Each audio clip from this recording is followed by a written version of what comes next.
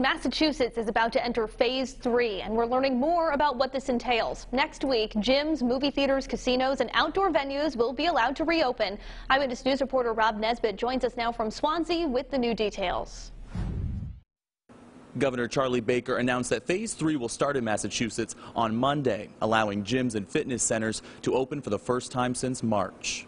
We'll be opening at 5 a.m. on Monday. Owner of Swansea Total Fitness, Mark Garganta, spent Thursday building hand sanitizer stations and preparing the gym for its reopening next week. Also have closed off certain machines that won't be available. Spacing equipment out 14 feet to adhere to the state's guidelines. More spacing than what the Total Fitness in Bristol, Rhode Island had to do when they opened last month and we've adhered to uh, Rhode Island standards.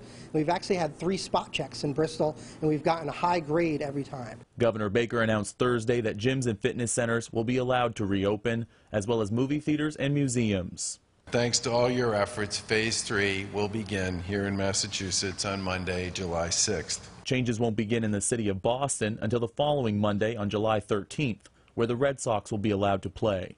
Phase 3 will also authorize professional sport teams under the authority of league-wide rules to hold games without spectators here in Massachusetts. Gyms planning to reopen will need to keep occupancy under 40%, require face masks, and sanitize equipment between each use. Bucket of wipes. Jason Harrington has sectioned off stations for members at CrossFit Prowess and Seekonk to work out in.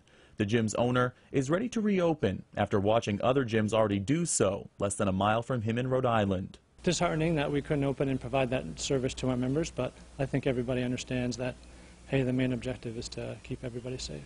Governor Baker says that phase three will last significantly longer than phase one and two, encouraging people to continue to wear face masks and social distance to prevent a spike in COVID-19 cases. Reporting in Swansea, I'm Robin Nesbitt, Eyewitness News.